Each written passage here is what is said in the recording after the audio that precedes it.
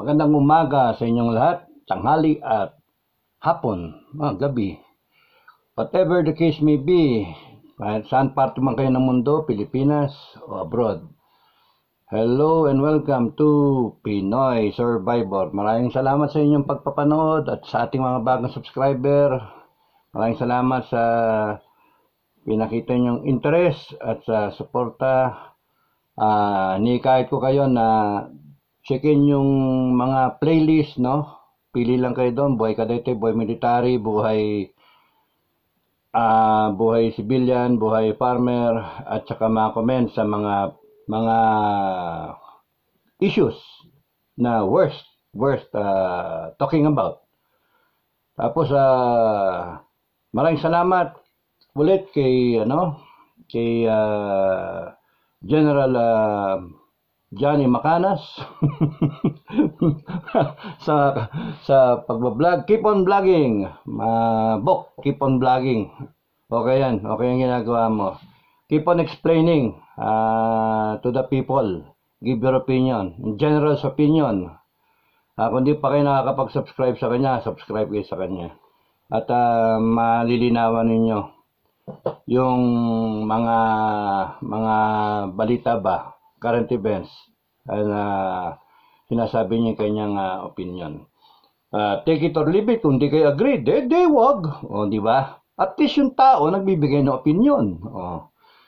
Eh, maganda naman yung mga sinasabi niya. Okay? So, supportahan nyo lang. Maraming salamat, uh, Johnny. Uh, ingat lang. Kamusta lang, kamusta lang at uh, lagi ka mag-ingat. Take care of your health. At baka magkagulo bigla magkagulo bigla. Mag, oh, mag, magkasama-sama tayo, magkakita-kita tayo. Okay, so minsan link up lang tayo. Uh, pagka nagawin ka dito sa aking uh, neck of the woods. Okay. Ayong nandito ako ngayon sa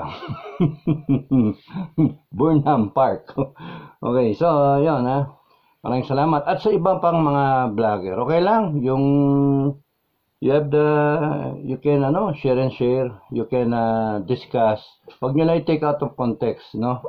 Basta, what you see is uh, what you get, no? Maraming salamat sa inyong lahat. Okay, so, may itang, may itang ano pa rin eh, ang Pilipinas eh, nakaka-stress. Uh, pagka tinitignan ko eh, Ah, diretso na ako dun sa topic bago ko sagutin yung mga tanong niyo. Ano, kaka-stress. Kaya ang gagawin ko, ang title ko ngayon, ang pag-usapan natin is Chacha. No, Chacha. Uh, Concha at saka Recha. okay, Chacha. Ang kagarapal ano, meron pa kayo Congress of the Philippines. Para sa inyo to mga mga congressmen at congresswoman. Para sa inyo to at saka kay speaker.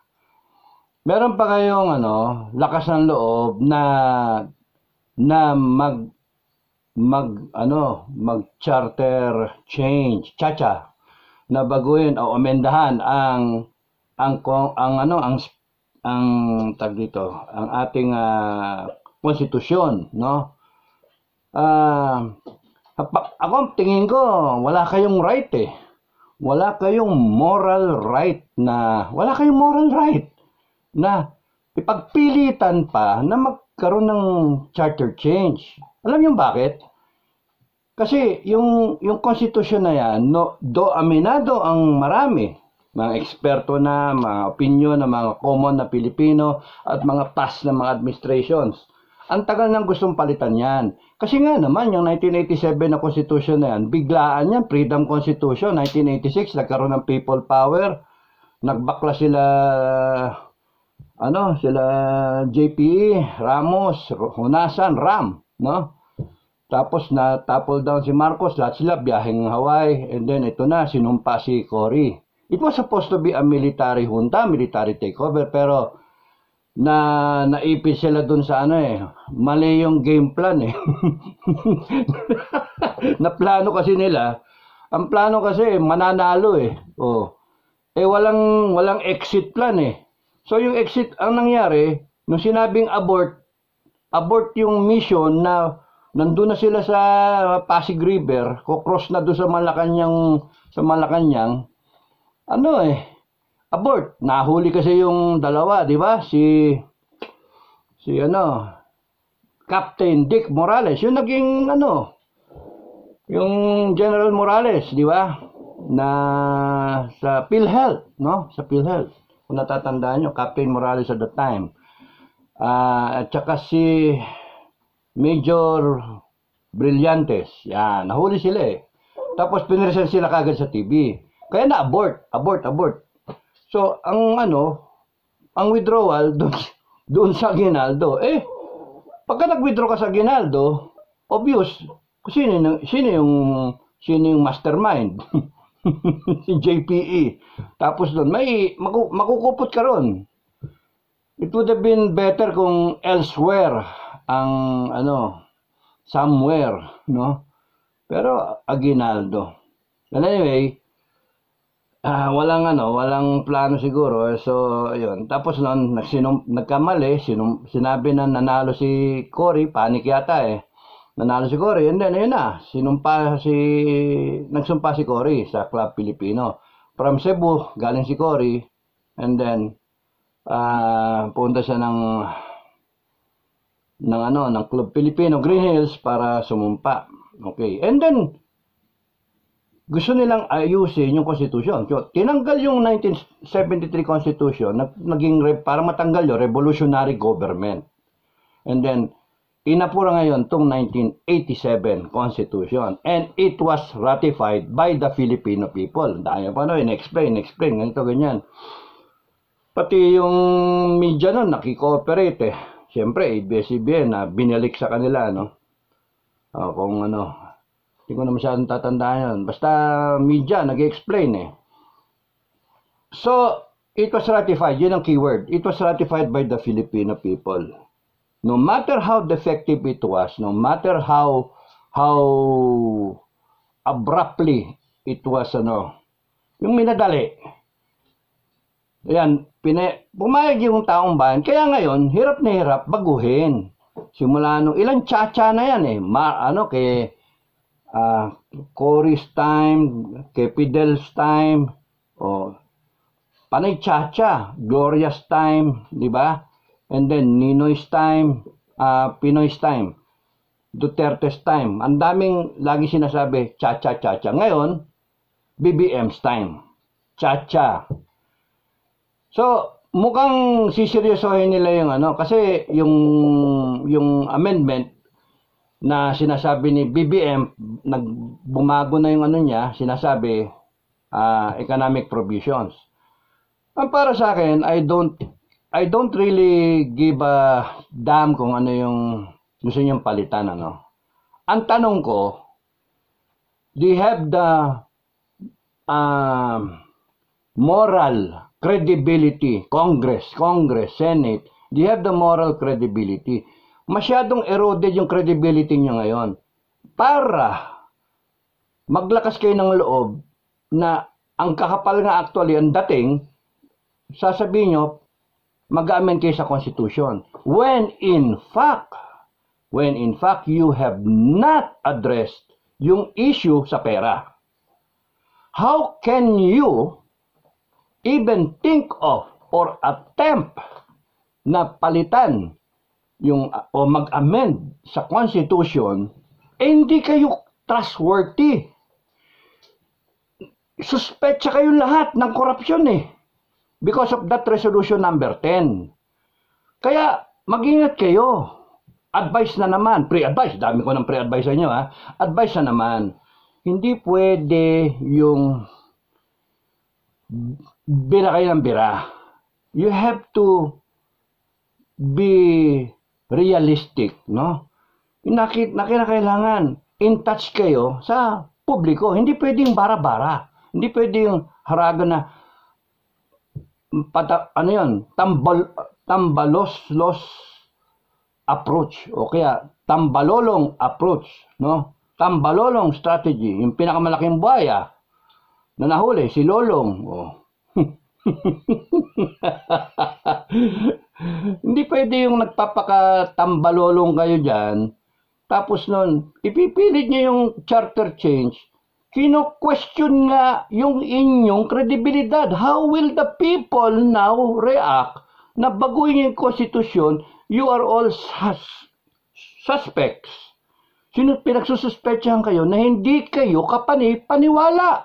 Yung sinasabi nyo, nagsisinungaling kayo. Kasi nga yung pera, hindi kayo mapagkatiwalaan. Tama, di ba?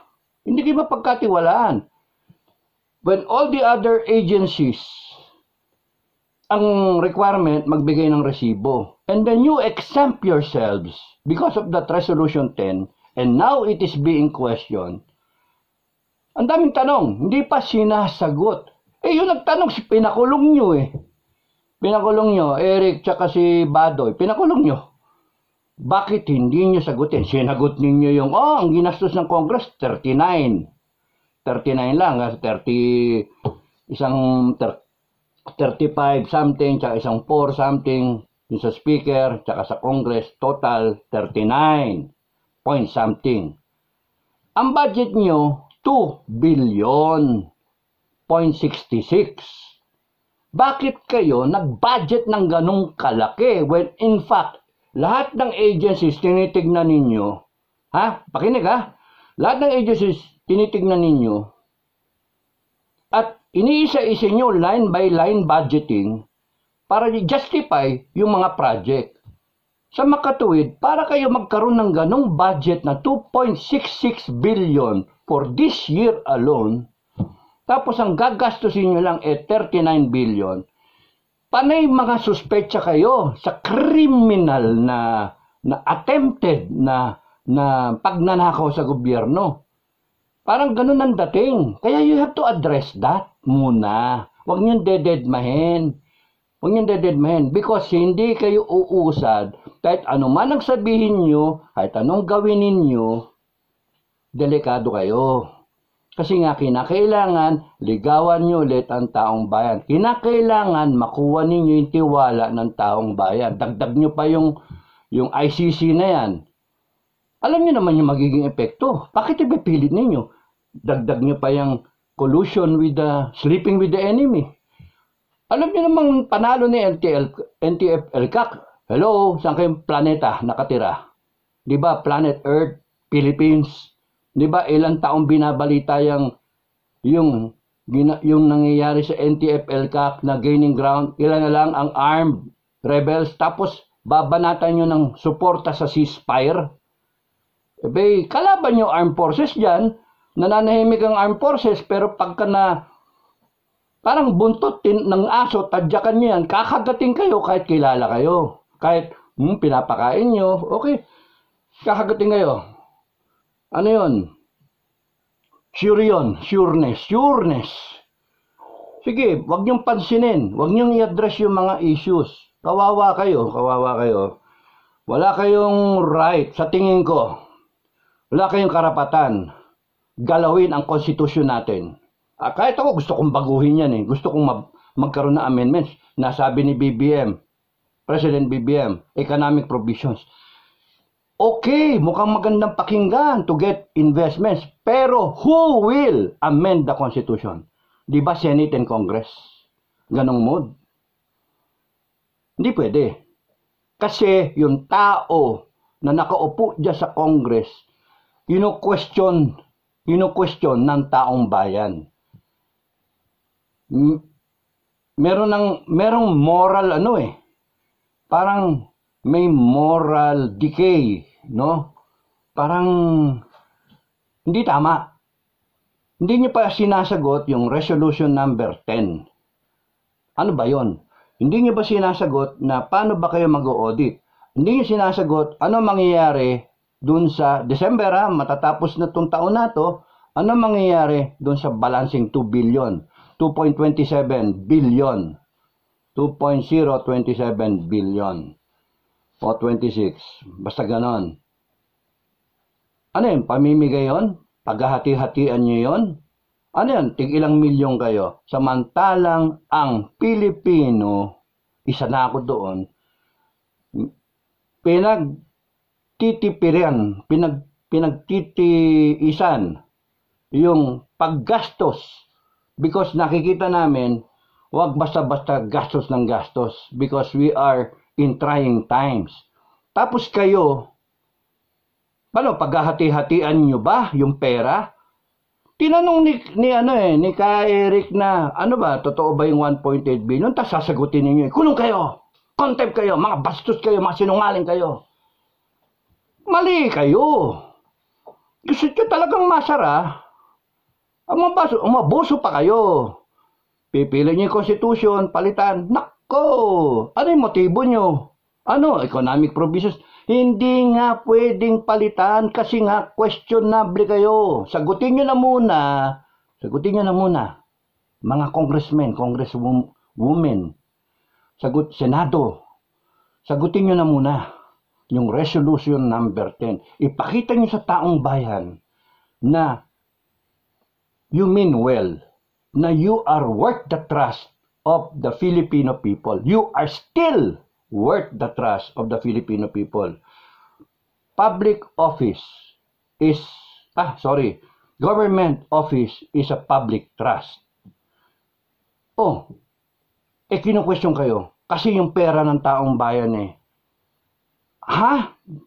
Yung resolution 10, salamat SAS. Yung resolution 10, hindi, hindi kayo nag, ano, nagbibigay ng resibo? O, ina-attach niya resibo, yun ang may nang magsasabi sa inyo. Ina-attach naman namin resibo, may certification, ina-attach namin resibo. O, talaga, ipakita nyo. Buksan niyo yung libro para makita ng taong bayan. Di ba? Ibinalik nyo ba o ibabalik nyo ba yung 2 billion na sobra? Babalik nyo sa treasury? O paghati-hatian nyo, ipakita nyo yung resibo. Sino nakareceive ng pera? O pinamigay nyo ba doon sa mga staff ninyo para tumahimik sila. Pakita niyo resibo. Di ba? Yun lang naman hiningi ng taong bayan eh. Then and only then can we trust you ever again. Kung hindi kayo magpapakatino, wala eh. I don't even want to call you honorable. Magharap-harap tayo. I will not call you honorable, your honor. I will not. Because you are not honorable. As it appears now. Kasi wala eh. Dinededman nyo eh. Dapat tumayo kayo, sabihin. Yung mga matitino dyan, sabihin nyo. O nga, mali eh. O nga, magsalita kayo. O, ay, wag yung kaya si General Reyes na, I walked into it, ganyan na eh. Nung dumating ako, naboto ako, ganyan na eh. Ganyan na yung practice. You have the power to change it. You have the power to say, mali ito. Pero hindi, everybody happy. Sindikato ang nangyari sa inyo. Excuse me. Nakakabara kayo ng lalam lalamunan. PI talaga, eh, PI. Nakakainit kayo ng dugo, nakakagalit kayo talaga. Tapos, abusado kayo. You are drunk with power and you have forgotten the purpose of your office the purpose of your being there in Congress or the Senate. You are supposed to serve the people. You're supposed to be for the people. Because the people were the ones who gave you the power. They voted for you. Tapos ganyan kayo. Hindi tama eh. Talagang hindi tama kaysa mo balasahin. Kaya ewan ko kung saan planeta ko yung galing. Kung ang isip nyo, kayo yung tama. Kung gusto nyong puwersahin, hindi yung, yung chacha na yan, eh bahala kayo. Ako nag-a-advise sa inyo. Para magising kayo, na kailangan may, mag, may magsalita eh. Para sabihin sa inyo, mali ang ginagawa nyo, mga partner, mga, mga, mga iyo. Kaya kung mag-aasta kayo, kala nyo kung sino may mayabang ah. Di pwede yan. Ganon nga. Sana boy si Fernando po, no? Ito tandaan nyo. Ito tandaan nyo pagka napuno ang salop, yari kayo, taong bayan. Di talaga, I do not want to see a Philippines na crumble eh. I do not want to see a Philippines na magkagulo-gulo. Civil war, military junta, revolutionary government, uh, ano pa yung sinabi ko? Maghatian, Luzon, North and South, maghati tayo para tayo North Korea, North and South Philippines uy, magtututukan din ng ano, na may demil- demilitarized zone. Tapos magtututukan tayo ng mga rocket, di ba? Ay, pupunta ako, lilipat ako dun sa ano, sa Mindanao. Ayoko dito sa Luzon eh. Hindi ko type yung Luzon eh. Lilipat ako. Hopefully, may mga kakilala pa ako ron, ano. Sayang, ano, di ko binili yung nag-offer sa akin ng durian na 9 hectares. Noon, nung tiniente ako, 9,000 lang noon eh. Eh, puno daw na NPA. Sabi ko, yung NPA, huwag bibenta, yung NPA, alis yan eh. Mauubos din yan eh. O di tama-tama may puno ka ng durian. Eh, inisip ko, hindi na ako babalik dun eh. Okay. So, balik tayo. So, kung hindi kayo nag, kung pipilit nyo yung chacha, kinakailangan mag-kongcha kayo. Kasi kung hindi kayo mag-change within yourselves, Congress, you change yourself, kongcha, ah, pupulutin kayo ng susunod na sayaw. Mapip, mapupwerse. Ano yung, pag hindi kayo nagbago at pinilit nyo, dinedme nyo yung tao, magre-revolusyon yung tao, magagalit yung tao. Hindi ako nag-instigate. Hindi ako nag-instigate. Mangyayari at mangyayari yon kung abusado kayo. Kung hayok na hayok kayo. Alam mo yung lasing na lasing, hindi na niya nakikita, lasing siya, eh, no? Kikita, di ba minom din kayo mga mga kongres? Minom din kayo, di ba? Pagkalasing na lasing. Di ba? Para kang ano na nun, ah, lahat ay akbay-akbay ka pa sa sekretarya mo, ganun ba? Masyado kayong ano na, yung freewheeling ka na nun, hindi mo na alam. Kasi under the influence of liquor, ano ka na nun? Lalo na yung sabog sa droga, no? ano na yung kung ano ka, shabu-shabu ka o kaya ano ka, nagkukok ka. So, kung kayo, sabog na sabog kayo, hayok na hayok kayo, ah, lasing na lasing kayo sa power, at bilib na bilib kayo sa sarili ninyo, at hindi kayo nagpa-function the way the people of the Philippines expect you to function, wala. Downfall ninyo. At magkakaroon talaga ng revolutionary government. Pikang-pika yung tao. Gusto nyo ng charter change. Magkakaroon ng, ipilit nyo yan, magkakaroon ng yung pangatlo, regime change. Oh, regcha. Recha, oh magkakaroon ng recha. Diretsa kayo sa ano, ma, hindi, hindi kayo makakatapos sa totoo lang. Ganun ang tingin ko eh. Ay, malay mo. Pakialam nyo, yun ang tingin ko eh. Nag-advise nga ako sa inyo eh. Pasalamatan mo pa nga ako eh, Congress. Pasalamatan nyo ako kasi nag-advise ako ng ano, ng what may happen and will happen if you continue to insist na isnabing yung mga tao at hindi nyo patayin, hey, Hey, Hachi, quiet. Quiet. Sorry. At hindi nyo patayin yung resolution number 10. Yun ang delikado. So, wala kayong karapatan baguhin yung konstitusyon ngayon. Hayaan nyo na lang, kung ipipilit nyo yan, sige, taong bayan ang magbabago, hindi kayo. Ang suggestion ko na lang, dun sa mga yung mga walang ginagawa ngayon at naghihintay ng ng ano ng umabuso tong mga to at magtuloy-tuloy sila ganyan pa rin sila. Tapos noon eh uh, yung puwersahin pa rin pinupuwersan ganyan hanggang sa magkukwel kayo and then puk, pumitik na. Magkaroon ng regime change pinilit eh pipilitin yung mahinog si Sara o sino man o kaya, pipilitin yung si President Duterte, ex-President Duterte ang tumayo. Eh, o kaya, pipilitin yung parang no choice yung tao, tatakbo siya sa 2025. Ah, good luck sa inyo lahat. You are the ones creating your enemies. You are the ones creating your downfall. Di ba? Ako, nasasayangan ako kasi sinimula naman na. Yan, unity team. Unity team. Bakit naman bakit naman ano? 'Di ba? So, 'yun, 'yun yung ano ko. At ang iwasan niya yung paghuhusga ng tao. Yung langit, maghuhusga yan eh. In the perfect timing, no? Yung langit, huhusgahan tayo ng lahat. Yung mga di naniniwala, eh, bahala kayo. Good luck sa inyo. Pero ako, naniniwala ako na dadating ang panahon na malapit na nga, huhusgahan tayo lahat ng langit. Okay? So,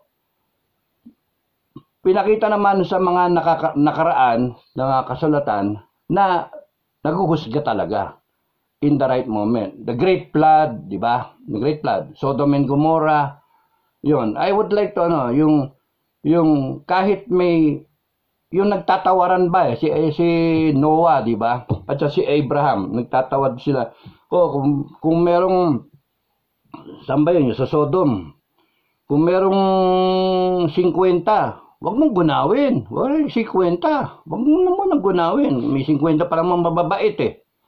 And then, pababa ng pababa hanggang, Sige, sampu na lang. Kung may nakita ka sampu, sabi ng Panginoon, hindi ko nagugunawin. Nakasan loob ng, ng, ano, ng tao, no? nakipag-bargainan pa eh. Kung meron lang sana tayong makitang sampung tao sa Congress na mahimasmasan at magsalita at sabihin, mga pare ko, mali tayo. Mga, mga um, amigo, mali tayo kumpanyero, mali tayo. Tanggalin natin yung resolution 10. And maganda, nagsalita pa sa podium, siguro sa January na pagbalik ninyo, sabihin nyo, this is a resolution to terminate resolution 10.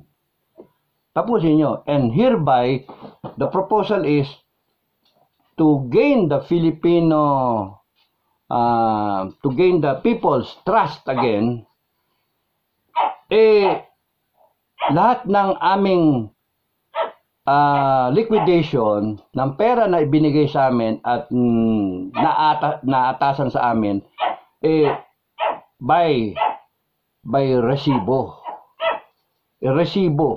And then, wag nyong haharangin yung COA na hindi nila magampanan yung kanilang tungkulin. And COA, wag kayong papayag na dahil sa sinabi ng Congress at may Resolution 10, eh, ganyan pwede. Pinag-uusapan niya namin ng ano yan, eh. share ko sa inyo, pinag-uusapan namin ng misis ko yan eh. Retired eh, retired. Retarded na rin. Ang, ang ano, pwede ba yon Sabi ko. Ano magagawa ng COA? Eh, resolution yon. Authorized ba yon? Eh, pero ang punto, hindi naman batas yung resolution 10. It is a way of going around, ay, putya. Bastos ninyo eh. Mali yung ginagawa ninyo talaga. Kundi pa kayo na, ang masama yun, na-discover kayo, tapos nun, dinededman nyo. I'm telling you ah, magagalit, nagagalit na talaga ang taong bayan. Hindi na pwede yung ganyan kayo.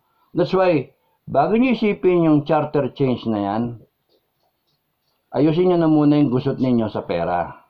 No? Ayusin niyo na muna. Win back the people's trust. If pwede pa. Para yung nose dive ninyong ganyan, bumabagsak na kay aeroplano, nose dive kayo, eh ma-recover nyo pa. No? Ma-level up nyo pa yung flight ninyo. Kung hindi, tuloy-tuloy kayo. Disaster. Disaster ang mangyari sa inyo. Ay, ano lang ako, nag-pipilosopontasyo uh, lang ako, whether you take it or leave bahala kayo. Posisyon nyo yan. Buhay nyo yan. Kasi you will not escape the people's wrath. W-R-A-T-H. Wrath. Huhulihin nila ng daga dyan sa Congress. Yun ang mahirap doon. Pagka umabot tayo sa punto na na-involve yung ating mga uniform personnel retired man o active, delikado talaga kayo. And it will be another, ay nako. Tapos pagka kayo, magmamatigas kayo, gusto niyo pa na mag-civil war tayo? Sige, bahala kayo. Gusto niyo gano'n ng Pilipinas? Eh, pwede naman kayong magpakumbaba. Pwede naman kayong ilagay nyo sa tama because you are the one sitting now. Pwede nyo ayusin. Kaya nga kay binoto ng tao, ang tao are hoping that you will do the right thing. Diba? So, wag niyo pagpilitan yang yang pag-aamenda ng konstitusyon na sinasabi ninyo na ang papalitan lang, aayusin lang is economic provisions. Hindi masusunod yung economic provisions lang yan. Isasama nyo na lahat. Pagka napika ang tao, mismo ang tao ang magpapalit sa buong constitution. Question, pwede ba yon? Pwede. Kasi yung constitution ng 1987, remember, ni-ratify, pinagbotohan ng taong bayan. Kaya kung ang taong bayan nag-decide, wag niyong gagalawin na yan at kami na lang ang gagalawin, papalitan na namin lahat yan. Kasi gago kayo eh. Sinira niyo yung trust namin, etc. etc. etc. O wala kayong magagawa. At kayo, ay ako magpo-propose mismo eh. Sir, sir, sir, pwede bang mag-propose? Yung Congress, buwagin yan. Tanggalin yung party list. Ah, kung magkaroon na revolutionary government. Eh, sorry sa inyo eh. Pipilit nyo kasi gusto nyo eh. Na mag-sorry kayo, ayaw nyo. Sorry kayo kala, no, Silis, saka Badoy, mag-sorry kayo. Kundi kaya, magano kayo, mag, magano kayo doon sa taong bayan, sabihin nyo. Sige, kakanselin na namin yung ano, resolution number 10 para matahimik kayo. Kasi yun naman talagang tama eh. Eh, pagka ganyan kayo, wala. Anong akin, I still maintain na sobra-sobra tayong Congress. Ang gastos ninyo. Gastos. Ilan ang budget ng isang congressman? Times ilan? 300. Eh, pwede naman na da, bumalik tayo sa dati. Ilan lang ang congressman? One per province. Kung 87, 87 na pala ngayon, 87 provinces, 87 na congressman compared to 300 plus plus plus now. O, ang laki na matitipid. Di ba? More than two-thirds. O, magkano pera yung nilulustay na hindi nakaresibo? Magkano? So, yung Senado, tama lang, one per region. O, ilang regions? 17. 17 regions o 15? 17 na kamo. O 17 senators out of 24. Bawasan. One per region lang. Masyado tayong mag maggarbo, mag magastos. Eh yung pala ginawa yung kamag-anak eh, incorporated eh. Masyadong ninanakawan yung taong bayan eh. Ngayon tanong nga, is it is it ano fair? Is it um, effective? Efficient? Ah, yung paggagastos, is it cost efficient? Eh pwede naman gawin ng ano eh. Ba't ang dami mong, ang daming mambabatas? Eh wala naman kayo pinapasa. Death penalty, nakabinbin. Oh. ROTC bill, nakabinbin. Ang daming bill na nakabinbin. Anti-dynasty, nakabinbin. Kasi, siguro, siguro, sa, sa 2025, iyaano nyo yung anti-dynasty, no? Takot kayo kasi, pat tumakbo yung si Duterte, no? Pero, Tatamaan din kayo kasi kayo, kaya hindi mapasa-pasa yan eh. Kayo rin kasi, tatamaan din. Eh nakalagay naman sa ano. Ang daming batas na dapat pinasa, hindi nyo pinapasa, inupuan ninyo. Tapos kayo mismo, gusto nyo baguhin pa yung pinaka main na batas, constitution, gusto nyo baguhin, amendahan. Wala kayong credibility. Simple as that. Bangkarote kayo sa cred- credibilidad ninyo. Sorry, Congress, bangkarote kayo. Kaya kinakailangan magdeposito kayo. Panay withdraw, withdraw, withdraw kayo eh. Naubos, bangkarote, zero, zero credibility. That is the real, honest, hard truth. Bangkarote kayo. Kaya kinakailangan, deposit muna, deposit ng goodwill. Pakita sa taong bayan you rescind. Rescind yung concurrent na resolution number 10. Pakita sa taong bayan yung sobrang 2 billion, sinole. Ah, good luck sa inyo kung hindi nyo sinole. Good luck sa inyo kung ginawa nyo Christmas bonus. Explain mo na sa taong bayan with the proper receipt. Buksan ang libro. Pakita nyo. Ah, good luck sa inyo kung hindi nyo magawa. Kasi kurakot ang ginawa. Oh, magalit kayo. Eh kung totoo. Kasi kung hindi totoo yon, buksan nyo ang libro. Yun yung challenge. Di ba? Buksan ang libro. Eh, huwag niyong pairalin yung pagka brusko ninyo ha. Huwag niyong pairalin yung pagka masyadong ma- mataas kayo, high and mighty. Because the people of the Philippines can one day wake up, mainit ang ulo, at sobrang abuso nyo, and then they will take away your power. They will go to Congress, ano, sasabihin nyo sa military, protektahan kayo, o sa police. Eh sila rin binibiktima ninyo eh. Eh sila nga eh, lahat ng ano nila. Ay nako. Eh galit sa inyo yan, kasi pistoks eh. Di ba? Eh, you have created this situation now na medyo medyo delikado ang Pilipinas. You, are, you have created that. You have created the divide. You have created yung unity mag, mag magkaroon ng mga ano eh ng ng uh, ng lamat eh.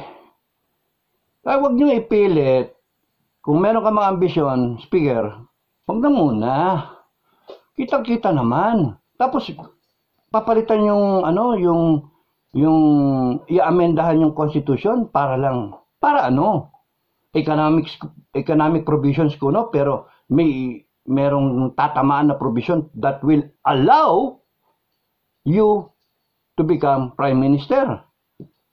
Or what? Eh wala eh. Ang taong bayan panay question, panay galit, panay ano. Kaya deposit muna kayo ng goodwill sa tao. Perform muna kayo ng maayos na hindi related sa mga kanya-kanya ninyong personal na gain or sa personal ninyong ambisyon. Tigil nyo na muna ang pagtirada sa mga Duterte at sa SMNI at sa mga alyado ng Duterte. Ako hindi ko binoto si Duterte, pero nakikita ko may mali kayong ginagawa. Kaya I'm calling you out. Mali ang ginagawa nyo. And you are forcing a situation na pati yung administrasyon, lahat matatangay dahil sa ginagawa ninyo. And that is bad.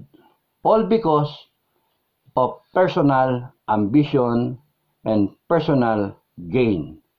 So you try to correct. Kung meron pang natitirang matitino, I'll be happy. Pakita ninyo. Di ba? Sodom and Gomorrah. Sampu lang matino. Absuelto kayo. Sampu lang. Pakita ninyo. Pero kung wala, gunawin kayo. The people will be fed up one day. Yun ang nakakatakot. And I'll be sorry for you because you're given the chance, every bit of chance. You reflect on it this Christmas. Pero kung kunyaring binigyan kayo ng mga bonuses ninyo, question ninyo, ano ba yung bonus na yan? Taong bayan, pera ng taong bayan, hindi ko gastusin yan, soli ko. May makonsensya kayo. Laking bagay yun. It's a step forward. Deposit kayo ng goodwill. Deposit kayo ng, yung, you live up to that name, honorable, di ba? Your honor. Pero ako, hindi ko kayo tatawagin na honorable kasi hanggang ngayon, kino-question ko, yung ano ninyo, pagka-honorable ninyo. Sorry, sorry sa inyo. Pero it doesn't show eh, na honorable kayo. Simpleng resibo, hindi nyo pakita eh. Simpleng libro, hindi nyo buksan. Simpleng daing ng tao, ayaw nyo pakinggan. Tapos, kakapal ng muka, parang mga buhaya. Na talaga naman, kapal ng muka. Makapal ng, kapal ng balat ng buhaya, di ba? Yung ginagawang bag, ginagawang sapatos, ginagawang sinturon. Kapal talaga. Tari, papakita ninyo na bibirahin nyo pa yung charter, yung charter change. Kaya pangit. Huwag nyo pilitin magkaroon ng regime change.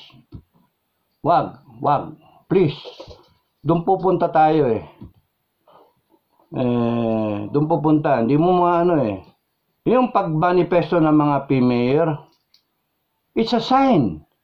Ang mga bulag ba kayo? Mga manhid ba kayo? Yung mga pag pag-indicate ng mga sundalo na retired din, na nagagalit nga sila, nagsasabi sila sa amin na, eh, ba't kayo lang? Ba't hindi kami nakasama dyan? Oh, ang dami. Mga retired. At mga active, ha? May mga active. Kaya kabahan kayo, huwag niyong pipwersahin na mag-decide yung tao. One thing I am sure of, is professional yung ating mga kasundaluhan and they will be as one. Yung doon kayo matakot. Yung mahati, pwede pang maglakas kayo ng loob eh, kasi may kakampi kayo eh. Pero yung buo yung armed forces at saka yung PNP, matakot kayo. Because one day, magising kayo, pak! We are withdrawing our support. Yun ang nakakatakot. Withdrawal of support. Ano nangyari doon sa panahon nila, ano? Nung EDSA DOS, no? Withdrawal of support. Kahit inappoint si General Lacson at si General Reyes. Wala silang magawa kasi yung lahat ng, ng commanders nila eh.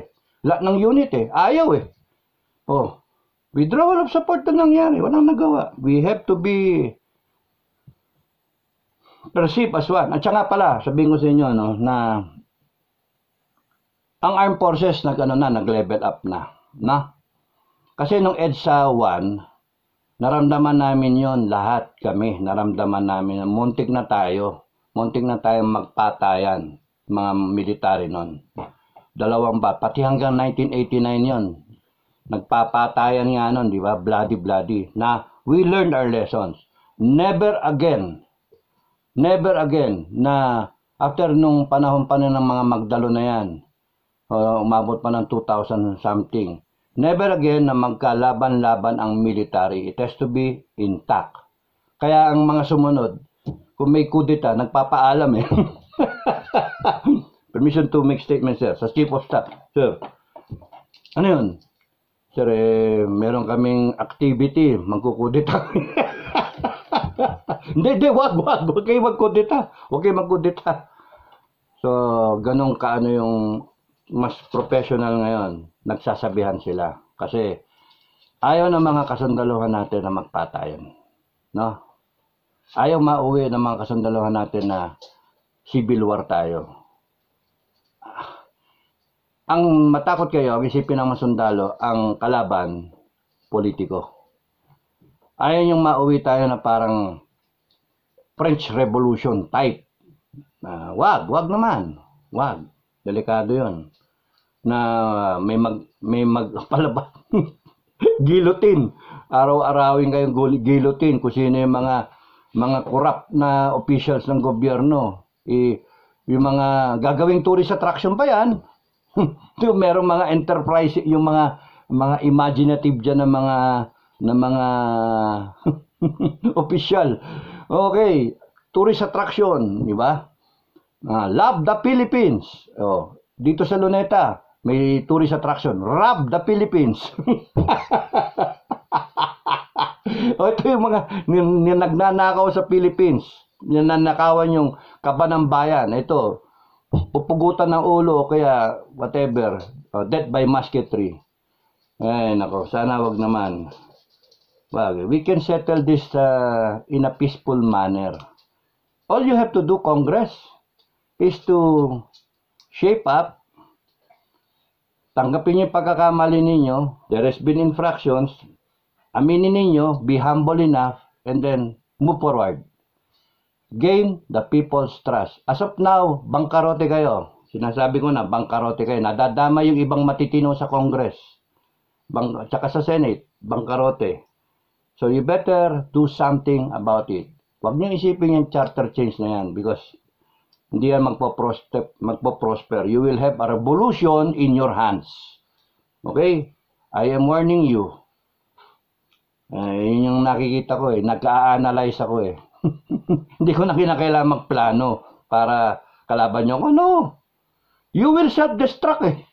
Hindi na kailangan mga opposition kung meron mga opposition na na magpaplano sila against you to topple you down? No! Wala! All, all they have to do is watch you. Parang mission impossible. This government will self-destruct in five days or in in five months o ganon or in five years. Parang mission impossible.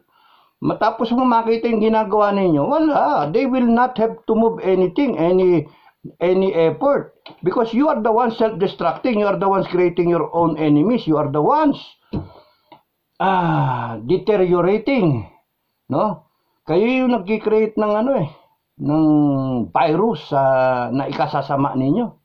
Kaya good luck sa inyo. But you can still correct it. Honest to goodness, you can still correct it. Yun na lang ang advice ko sa inyo. Tumakbo kasi kayo eh. Yung problema nyo, kaya ayoko, ayoko sa politika eh. No?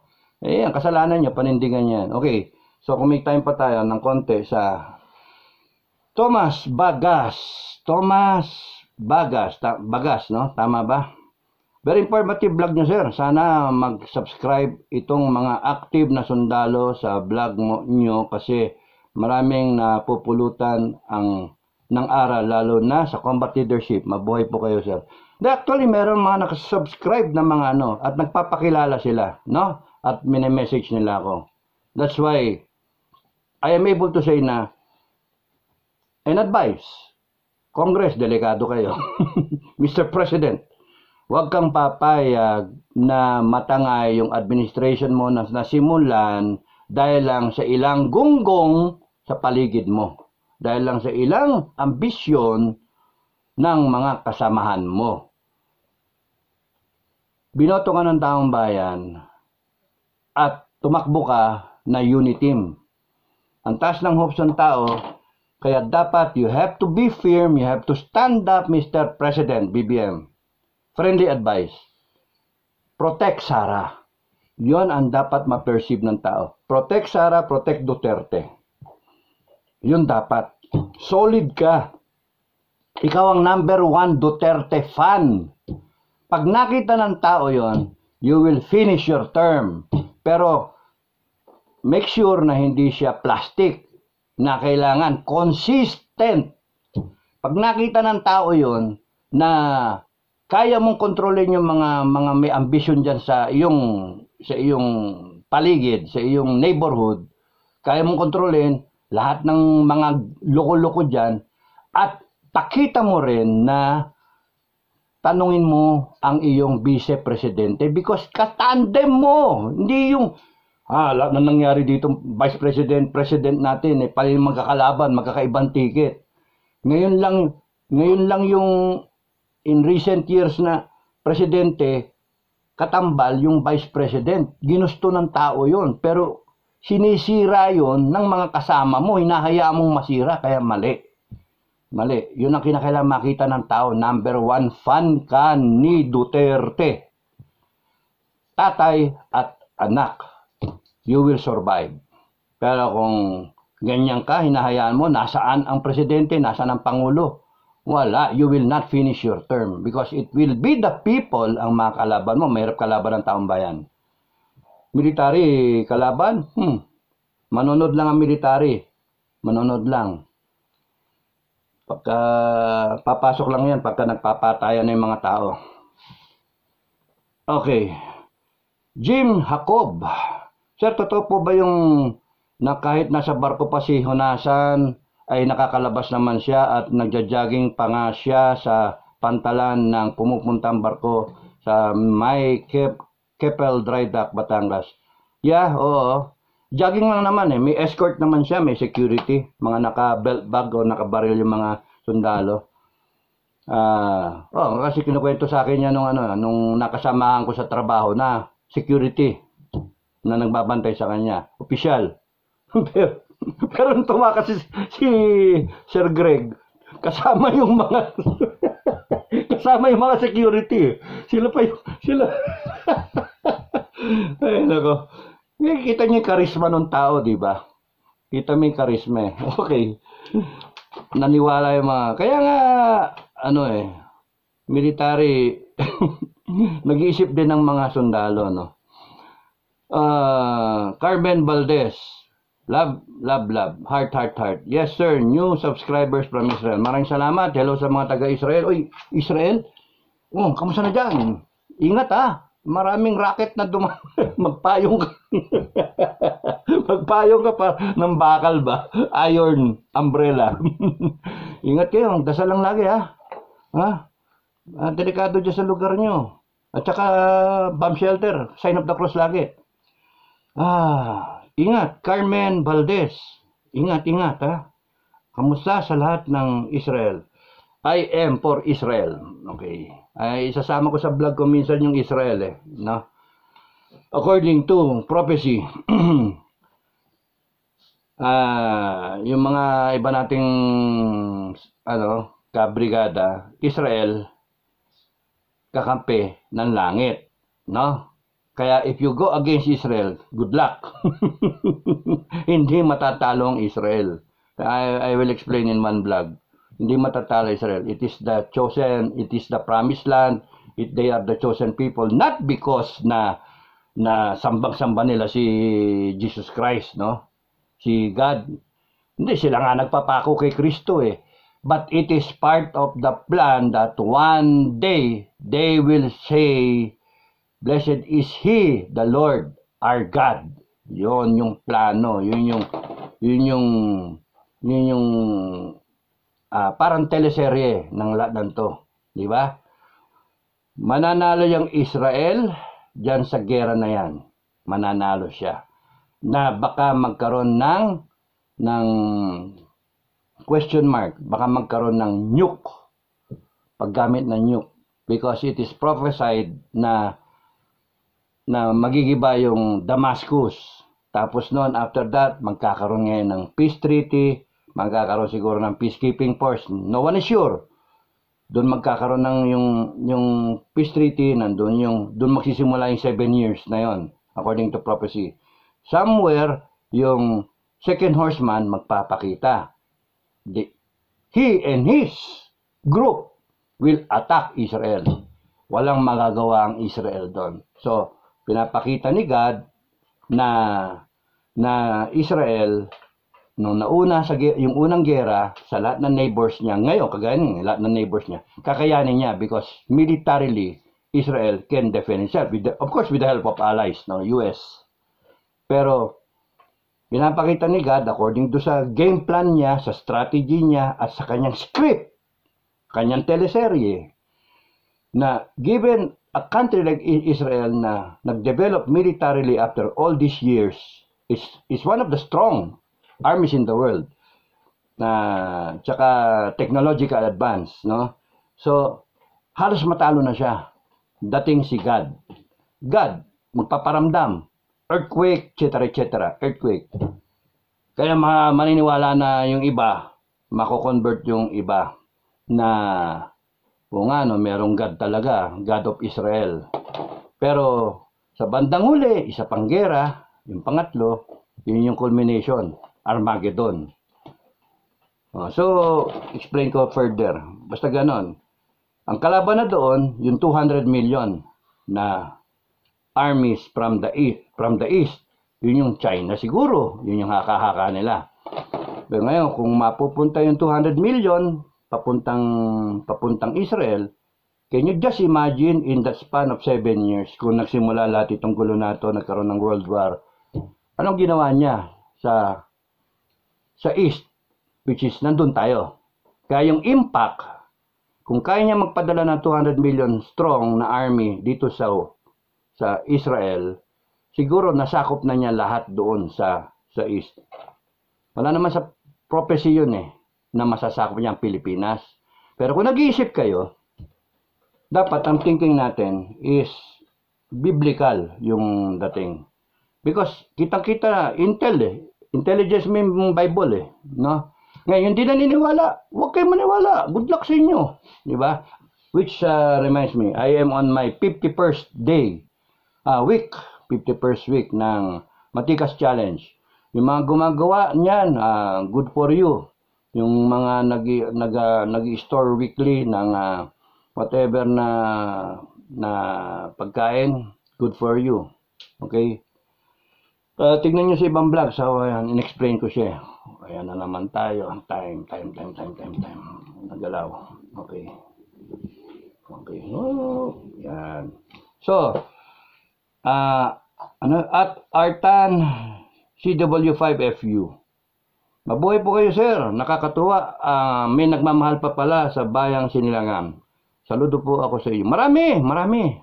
Maraming mga ano, tahimik lang. Tahimik lang sila. Sundalo, PA Mayor, non-PA Mayor, Reserve, Integri, marami.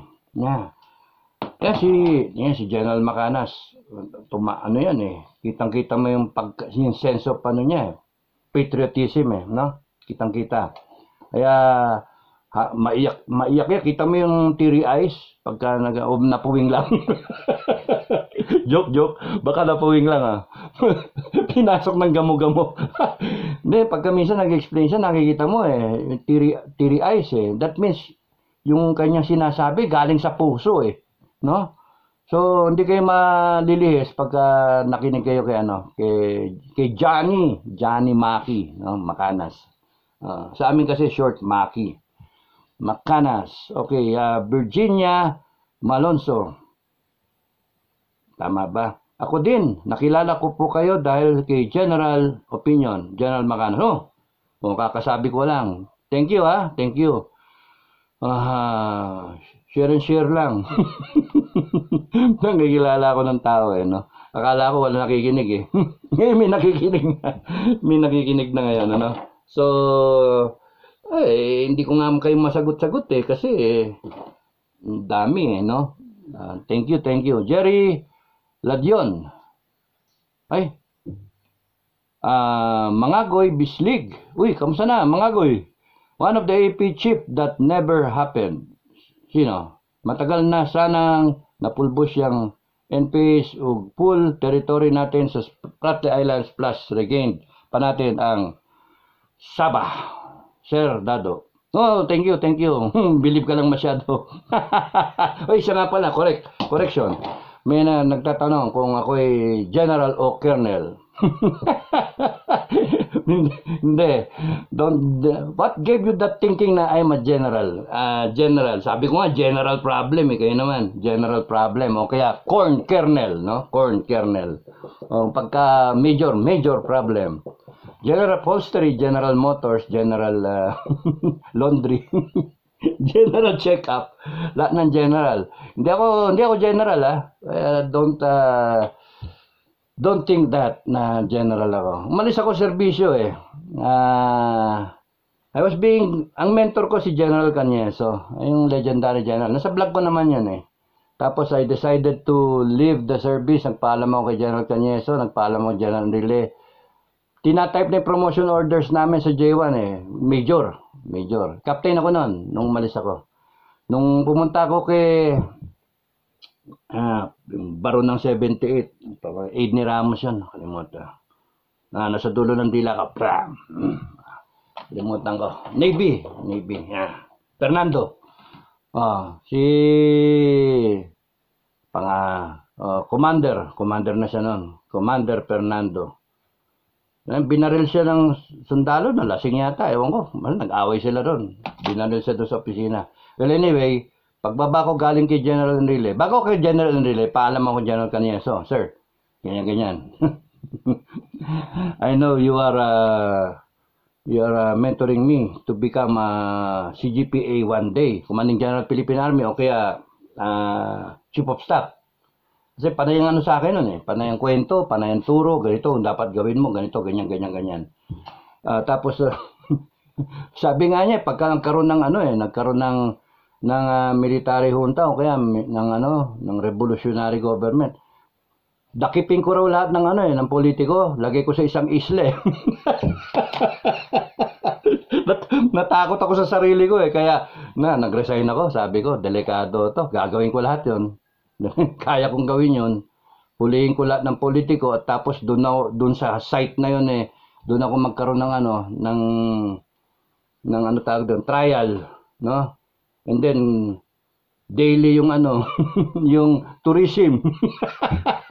Tourism sa Luneta. Pero uh, actually hindi na kailangan gawin yun eh. We can reform uh, all all these years nakita ko na we can reform na ng peacefully ang problema eh kasi ano eh, yung ang problema is yung attitude, yung upbringing, no? Kaya nga sinasabi ko moral bankruptcy eh.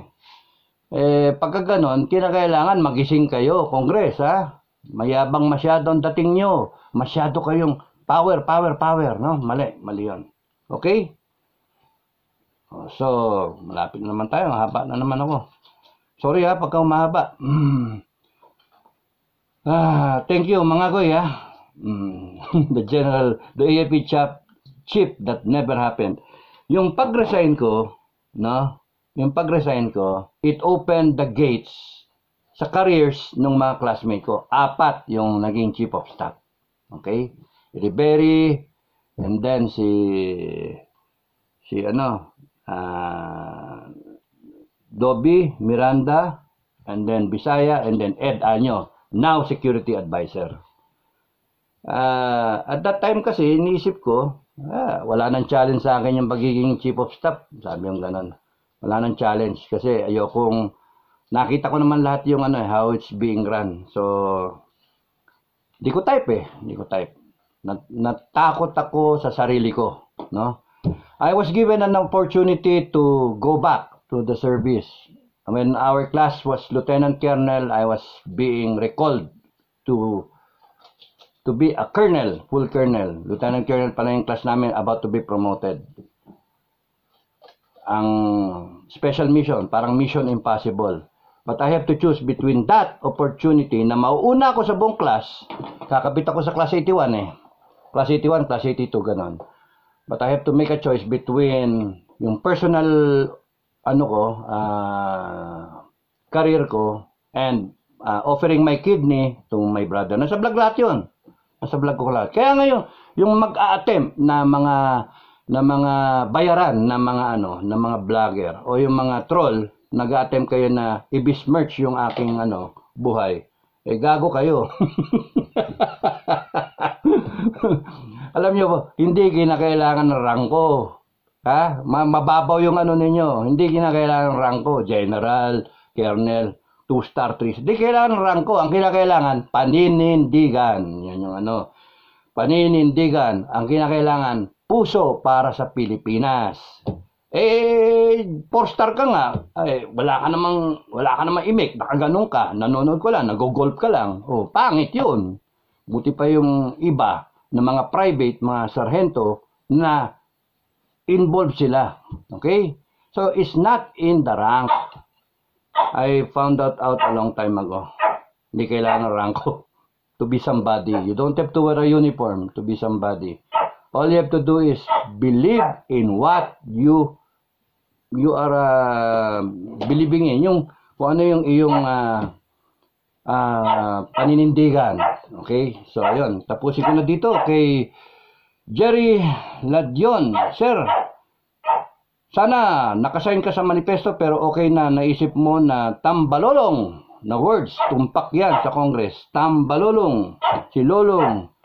Actually, it's an insult eh, to Lolong. Tambalolong. Ah, the giant crocky, the giant crocodile, the biggest one in captivity at that time according to Guinness Book Records, no? Ah, excuse me. As para sa inyo, naka-sign ako. Ah, ayan, sinagot ko na nga pala ikaw, oh, na nandun yung pinost ko sa page ko na nakasign na. Num- number 27 pala ako. Kung bibilangin mo, number 27. So, somewhere na wala, lost in translation, marami kaming ganon.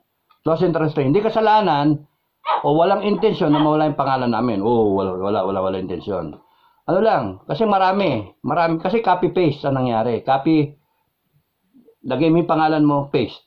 Copy, lagay mo yung pangalan mo. Eh, maraming gumanon. So, mahirap i-collate yun. So, yung nakuhanan is yung mas marami na na sunod-sunod. Okay? So, anyway, nandun yung thought, nandun yung ano. Ngayon, pagka pinaghuhuli yan, pinaghuhuli lahat yan na nakapirma. Oy, wala yung pirma ko dyan, ha? joke, joke, joke. Subukan.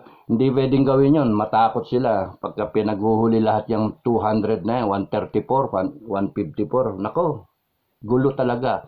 Kaya nga, self-destruct ang mangyari. Okay.